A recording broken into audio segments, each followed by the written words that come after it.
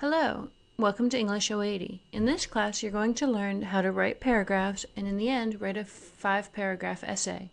You'll also be refreshed on grammar, everything from nouns and verbs to pronouns, modifiers, and whatnot. What I want to do here is to show you around your Blackboard course. Since this is an online course, you're going to be doing the majority of your work through Blackboard. So, to get started, when you first enter the course, you're going to get to the announcements page. Periodically throughout the semester, I will be posting new announcements. Please make sure to take note of the announcements and read them carefully.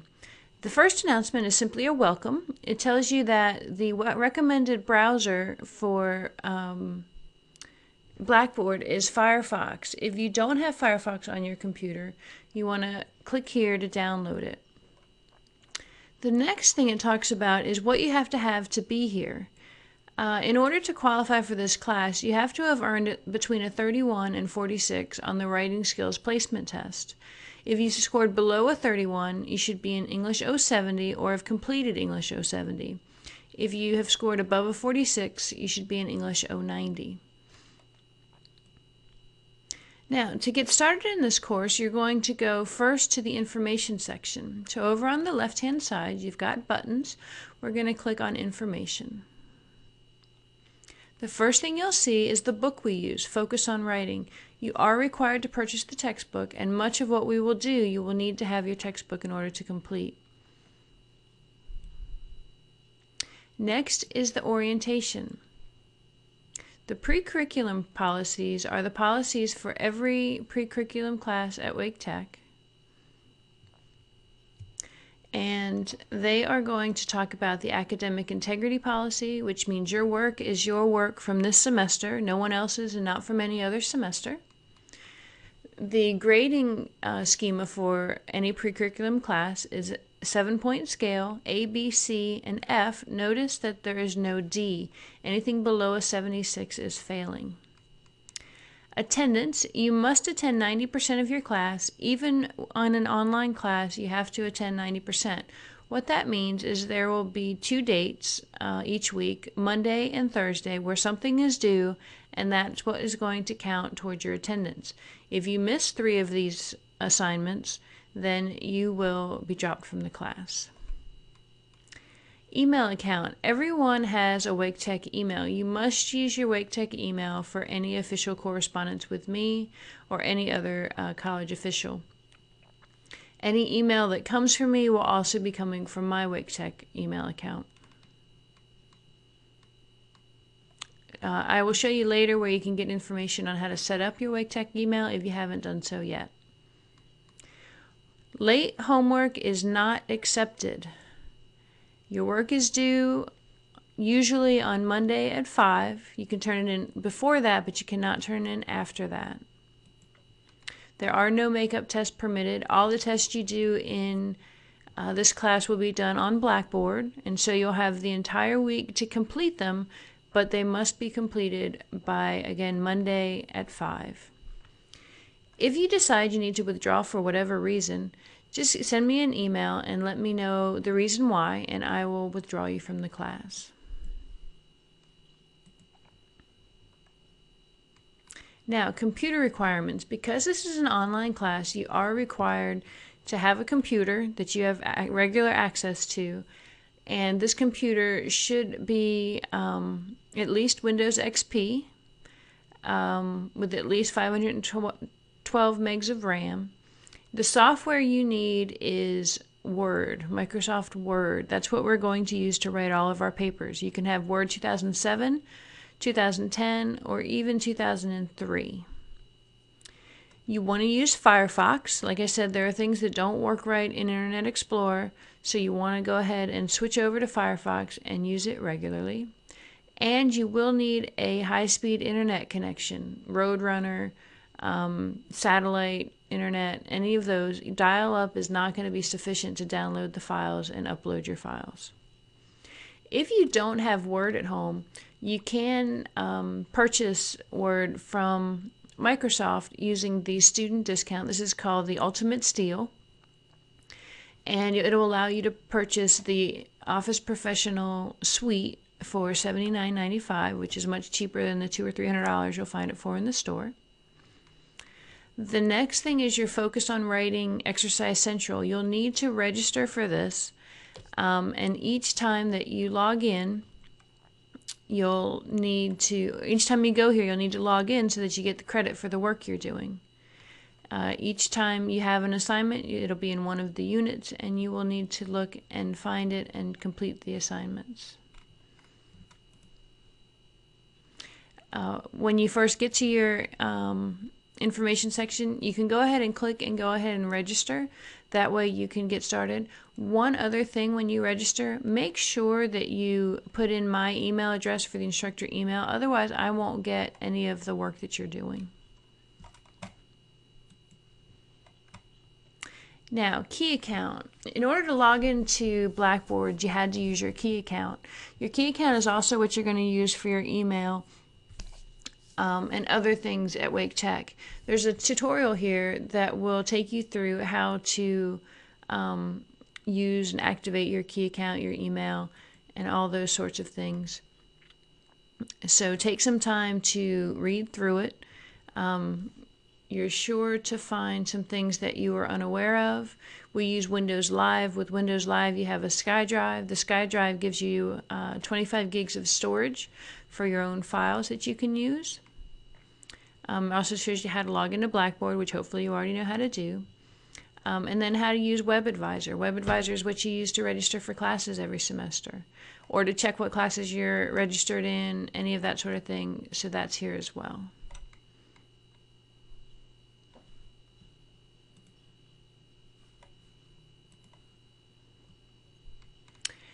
If you plan on being on campus for any reason, you're going to want to get a student ID card. You need to use a student ID card to go use the lab, the ILC, or the library.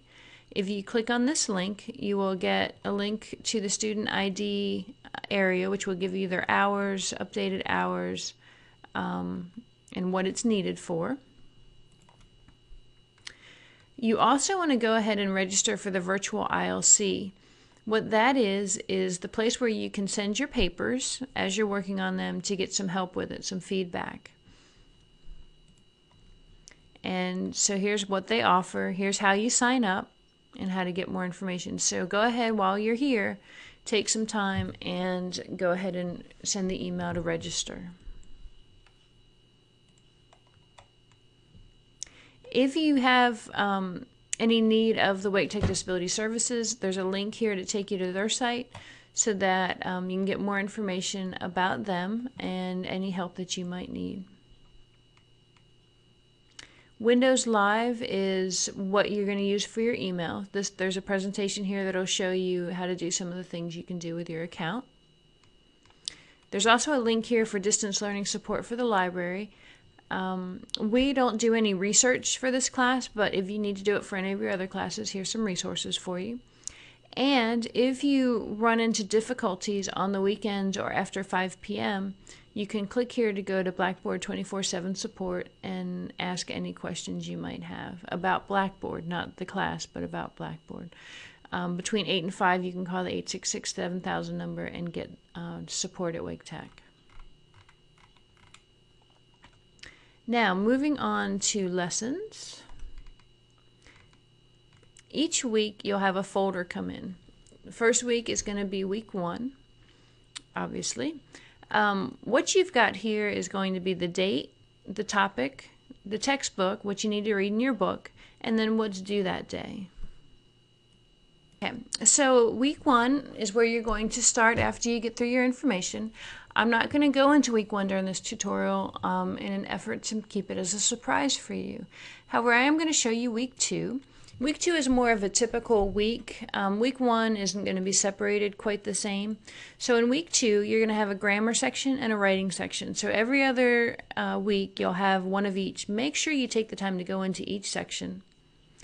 At the beginning of each section, you'll have your objectives, you'll have your to do list. This is a sort of a check-off list of everything that you need to do that week. And then any activities, um, tutorials, anything like that that'll be here. Um, this is your focus on writing assignment. There's a link to take you there, but this is a list of all the things you're going to do. And yes, I know there's a lot, but there's not many questions in each one. And then finally a quiz. Now, if you want to get out of take uh, out of doing the grammar assignment, if you can score a 100 the first time on your uh, quiz, you don't have to do the exercises. Now, your writing area is going to look exactly the same, obviously different things. Um, you are going to have a discussion board in the writing section each week, and the discussion board, first post for the discussion board is due on Thursday. This is going to be one of your attendance points, is this Thursday. So make sure every week by Thursday you've submitted something to the discussion board. Each week in the writing section, you'll also be working on a journal. You'll be given a topic, and then all you need to do is write for 10 minutes nonstop. Don't worry about your grammar, don't worry about your spelling, just write for 10 minutes and um, go. Then, like in the grammar section, each week there are going to be different activities. Um, in this particular week, there's a writing assignment um, similar to your grammar assignment using focus on writing, but normally there is not. Um, then you've got a quiz, and again, if you score 100 on this quiz the first time, you don't need to do those exercises. Um, you're also going to sign yourself up for a group. We're going to be using these groups for peer reviews of your paragraphs and your essay um, throughout the semester. So you're going to join a group. Um, you don't know who's in the group, you just randomly pick a group. Um, and also in the writing section, you're going to be working on paragraphs throughout the semester, and so your instructions for that will be here as well. Now, one good way to um, check on things is here in resources. If you click on resources, you can look at my grades. And in here, you can see what grade you made for something. This is my weighted total right now. I have an A. Um, so far, I've completed my week one journal, although I did get a note, and so you want to read whenever there's a comment. You can always click on full comment. It'll give you the whole note in case some of it is cut off. You have due dates all for the whole semester. So if you're at the end of the first week, which would be the 23rd by 5, you need to go in here and make sure anything with a due date of the 23rd is completed. Notice that for this week, August 19th, um, you do have the Blackboard Welcome to Blackboard quiz, and that is due on Thursday the 19th. So you want to make sure that all of these activities are completed um, by the due date. If you want to print this out as a reference, um, you certainly can, and then that way you can check things off as you go through the semester. I don't believe there's going to be anything added to this list. Um, if there is, I'll put up an announcement and let you know that something's been added. Another thing in the same tools area that you'll want to look at is the online attendance. In here, you'll be able to see if you've um, missed classes, what how many um, presents you have, how many absences you have, and there'll also be a list of all the days um, down here as they go. So, for example, I've been present on the 9th and the 12th, even though classes haven't started yet. But um, so you'll be able to keep an eye on this, and any A's are going to be um, count against you. Remember, you can miss 10%, which is going to be uh, three, three classes.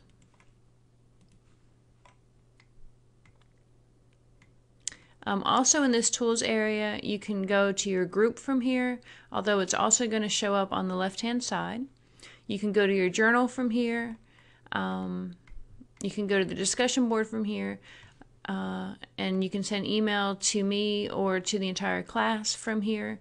If you click on send email and you want to send one to me, just go to all instructor users and then type in your message. So that's about it. One, uh, the only other thing is there's a contact Miss Wilson if you need to get my information. Just click on that link and that will give you my information. You're welcome to come by and see me at any time um, give me a call, send me an email. I'm pretty much on campus from 8 to 4, Monday through Friday. Uh, just call and make an appointment if you want to come just to make sure I'm in my office. If you have any questions, let me know. I'm here to help you, and I'm looking forward to a great semester, and I hope you are as well.